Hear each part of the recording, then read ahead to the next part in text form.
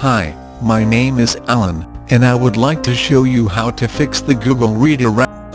The Google Redirect virus can cause a lot of trouble for you as it leads you to websites that distributes malicious software. It can be caught from any place on the internet. It attaches to several different sorts of files similar to MP3, screensavers, and videos. Most websites that carry the virus will normally seem like protected and legitimate websites and most of the people who download anything from these websites will unknowingly obtain the virus with it.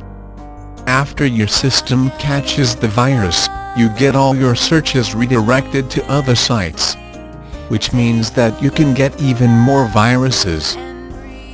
The following 5 tips will help you to get rid of Google Redirect and return back to normal computing.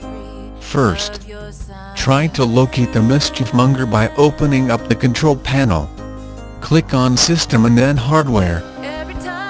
After that click on Device Manager, then View, then on Show Hidden Devices and then scroll down to see all hidden devices.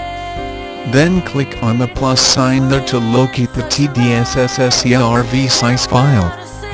Once you've found that file, do not drag it to the recycle bin or delete it. Simply right-click and select Disable. Once you disabled that file your job is done. Just reboot your PC. To learn more about Google Redirect virus click on the link below. Thanks.